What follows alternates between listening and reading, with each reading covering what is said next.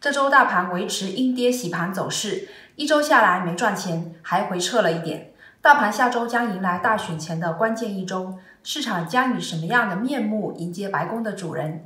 英特尔业绩负增长，股价暴跌，原因是什么？投资芯片有什么策略？特斯拉业绩大涨，股价也跌，又有什么策略呢？到底股价跌是不是财报惹的祸？大家好，欢迎回到阳光财经周末点评节目，我是三里。节目开始之前，请还没有订阅的观众尽快免费订阅阳光财经频道。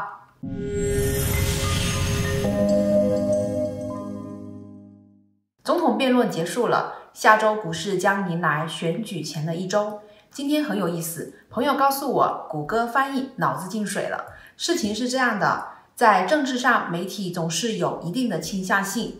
背后的利益链错综复杂。今天有一个传闻说，Google Translation 把英文翻译成中文有猫腻。如果输入 Biden just lost election，翻译成中文是拔剑刚刚失去选举。而如果加上一个 Joe，就变成了乔拜登刚刚单选。如果把名字改成 Trump，就变成了特朗普刚刚失去选举。这也难怪特朗普时不时要拿科技巨头开涮。动不动威胁封禁社交软件什么的，要不然实在是 hold 不住啊！这让我们联想到民调数据，在引用民调数据之后，都会引起观众评论的强烈反弹。大家认为民调数据不准确，人为操纵或统计样本失真问题严重。民调显示，在最后一轮总统选举辩论之后，拜登仍占领先地位。金融时报数据通过计算每个州两位候选人的民意调查平均值，按一定权重统计结果。大多数州采用赢家通吃的方法，一个州民众投票的获胜者将获得所有选举人票。根据金融时报数据，如果今天就选举最新民意反映的选举结果是，拜登获得的选举人票是二百七十六票，特朗普呢只有一百二十五票。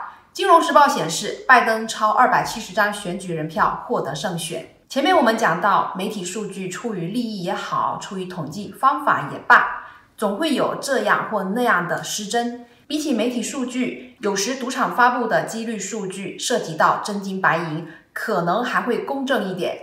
二十二号辩论之后，特朗普的赔率有小幅回升，拜登小幅下降。晚民意向测试也认为，特朗普在最后一场辩论的表现良好。无论如何，各项数据显示拜登领先优势是市场挥之不去的阴影。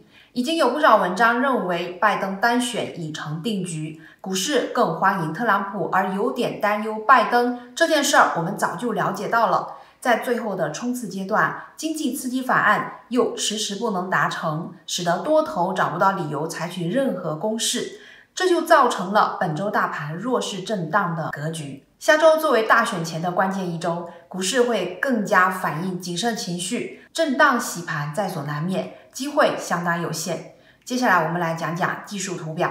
纳斯达克指数本周震荡整理，周一大跌之后，剩下的交易时间都在横盘。如果非得从这周的横盘当中找到什么蛛丝马迹的话，十月二十二日的下影线在四天横盘当中算是比较长的，把四天的横盘合并成一根 K 线的话，就是个上下影线都比较长的小阴线。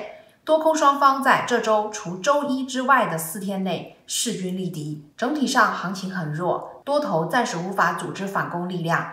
均线上紫色二十日均线还有一定的支撑力度。K 线下方有五十日线以及六十日线的强支持，向上的话呢，又碰到了多头高挂免战牌的担忧，因此下周纳斯达克指数仍将继续震荡洗盘。那些担心大选结果黑天鹅的资金，在大选前几天就应该跑得差不多了。那下半周和十一月初存在变盘的机会。标普五百指数周一大跌洗盘之后，剩下四天震荡整理。这四天的震荡过程中，收复了周一大阴线的三分之二，还是相当不错的。这说明标普在下跌过程中的多头抵抗明显，标普下方的空间存在多重支撑，标普下方存在多条均线支撑，包括二十日线和六十日线。标普接下来继续整理的可能性比较大，向下大跌和向上大涨可能性小于横盘。道琼斯指数同样存在没有方向感的问题。在之前上升通道破掉之后，指数进入横盘整理，目前还没有结束整理的信号。总的来看，下周三指数有可能维持横盘，但十月底、十一月二日之前呢就会变盘。英特尔暴雷了，股价重锤，美国银行和部分券商下调英特尔的目标价到四十五元，把评级从中性下调到了跑输大势。实际上，英特尔已经持续跑输大盘，而且在走下坡路。三季报营业收入一百八十三亿，同比下降了百分之四。数据中心业务是八十五亿，下降百分之十。数据中心向英伟达发展的有声有色，老霸主英特尔居然营收还下降了，这让人觉得英特尔不思进取，没有抓住机会。同样的，在七纳米芯片上也是动作迟缓，要到二零二三年才有着落，而那时候台积电估计两纳米制程都有眉目了。三季度英特尔 EPS 一点零二美元，同比下降百分之二十五，这对估值产生负面的影响。虽然英特尔在所有芯片股当中的市盈率是最低的，但看待估值不是按静态来看啊。有时候呢，因为每股收益的大幅下降，会造成市盈率大大提高。因为市盈率不只是股价决定的，作为父母的每股收益对市盈率影响更大。面对下滑的局面。公司解释，业务下降主要是疫情的影响。那尽管疫情问题，他们还是取得了超出预期的稳定业绩，这就很尴尬了。疫情期间，电脑、PC、笔记本、数据中心都是需求增加，远程办公和在家游戏的需求增加，对芯片行业不但没有影响，而且还是利好。你呀，英特尔又不是迪士尼，好意思把业绩暴雷的责任推到疫情身上？怎么不看一下英伟达和 AMD 的增量呢？人家也是同样的疫情，同样的市场环境，对吧？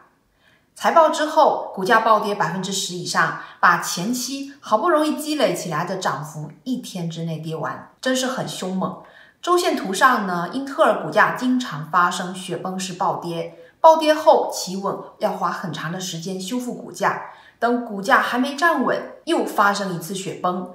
周线图反映几年的行情，可以说在最近几年当中，英特尔的股东日子啊过得非常无语。定期每个季度出来说一下七纳米芯片要三年后才会出品，光这件事儿就可以不断造成股价突然间下滑。因为芯片这个行业看似寡头垄断，实际上竞争相当激烈。七纳米以下制成的芯片利润率高，如果不尽快提高工艺水平，剩下的呢只能捡毛利率低的业务来做。而实际上，英特尔也已经找台积电代工七纳米产品，未来英特尔这块牌子应该没那么容易搞砸。值得注意的是，英特尔重启了回购股票计划，英特尔将回购总计约一百七十六亿美元的股票。作为二零一九年十月宣布计划的二百亿美元股票回购的一部分，股价重挫之后，股价进一步暴跌的可能性不大。英特尔暴雷，而这个市场却仍在快速成长当中，这说明什么？这说明芯片业务、数据中心业务的市场份额正在悄悄转移，而公司业绩不会像股价一样天天暴涨暴跌，更多的是延续一定的趋势来运行。市场份额转移就是客户需求的改变，这种改变不是一个季度就可以扭转的。那么，芯片市场其他巨头将继续成长，比如英伟达、台积电、AMD。其中呢，AMD 在 PC 芯片市场吃英特尔的份额，而英伟达在数据中心业务正在逐渐成为公司除游戏之外的另一个主要利润来源。台积电则是芯片企业绕不开的工厂，几年之内没有对手。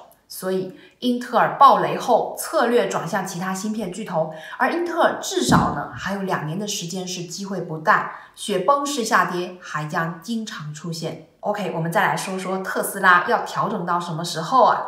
你要说英特尔业绩下降暴跌，我们可以理解；特斯拉在本周财报之后也是大跌，这两个性质有一样吗？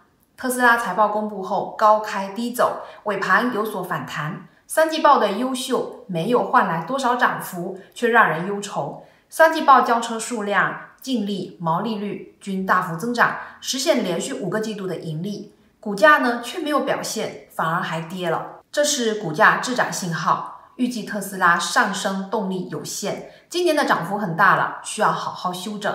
等待公司业绩上来之后，将估值拉低，股价有一定程度的透支，就是市场对财报之后没有过度追捧的理由。特斯拉今年一直有个念想，就是进标普成分股。标普成分股的历史波动率都比较稳定，暴涨暴跌对指数产生负面影响。未来特斯拉的基本面将继续走好，这点没有太大的分歧。一个公司基本面向好，剩下的就是估值合不合理的问题了。特斯拉今年涨幅大，适当的调整是正常的。市值达到三千八百亿的股票，波动率一般是要降下来了。大象跳舞有点像地震啊，学一学亚马逊吧，慢慢的涨到三千块，不是很好吗？特斯拉目前处于一个大型的三角形整理当中，这个三角形的时间跨度大概从九月份到十月份，两个月的时间，上轨呈水平线，下轨呈上升趋势线。今天股价高开低走之后，并没有有效击穿三角形下轨。从三角形的理论来说，随着两条边的逐渐收敛。最终会没有位置再容纳更多的 K 线图形，这就是说啊，变盘在即，K 线蜡烛要从这两条边夹板当中跑出来，走出新的方向。看来股票涨跌并不完全是财报惹的祸，有时候只是正常的波动。基本面向好的股票大概率是向上突破的。OK，今天的节目就分享到这里，感谢您的收看，我们下期节目再见，拜拜。